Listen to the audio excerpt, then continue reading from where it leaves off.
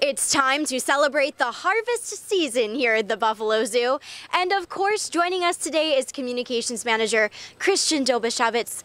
The summer went by super quick, didn't it? But now there's still a lot to celebrate. Yeah, I know. Kids are back in school, but we're still here at the zoo. We're still having a good time. Uh, people are still visiting, um, even, and we're having good weekend visitation. So.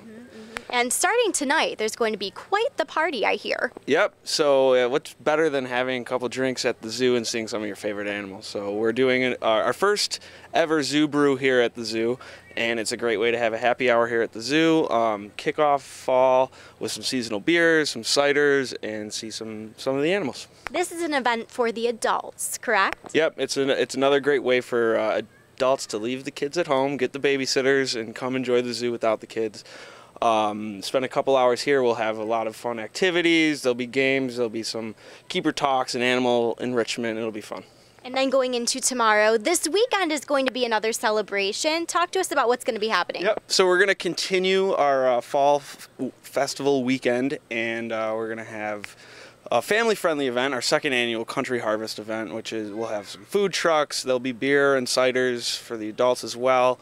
Um, there'll be bounce houses for the kids, and there'll also be keeper talks and fun animal enrichment as well. So it's two similar events. One's for adults and one's for the family. This is your second annual event happening tomorrow. How is this going to differ from last year?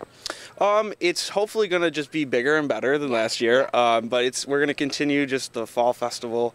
Uh, as you can see, the grounds are decorated here at the zoo. Uh, we've put a lot of man hours getting them ready to to really get fall in everybody's mind. Really puts you in the fall spirit here at the Buffalo Zoo, and this is a great place to take photos, photo opportunities here. Yep, we've seen lots of lots of people uh, coming up to our, our haystacks and the pumpkins all around the zoo, taking pictures with the family, with the kids. Um, it's just another little added benefit of coming to the zoo. How can you purchase your tickets for tonight and tomorrow? Um, so tonight is uh, you can purchase tickets online at buffalozoo.org, or there will be tickets at the door.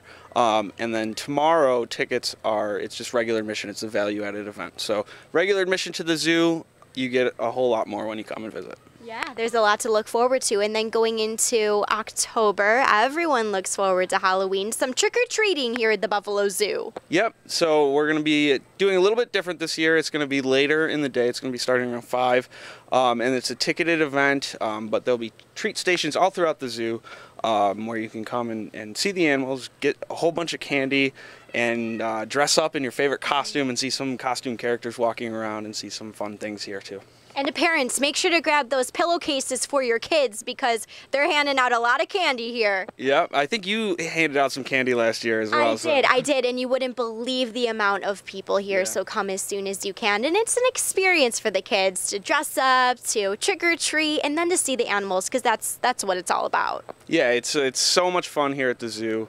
Um, to there's so much to do with the added benefit of getting getting candy. Who doesn't love candy? There's so much going on here at the Buffalo Zoo, especially during the fall season. Come on out, they have so much in store for you.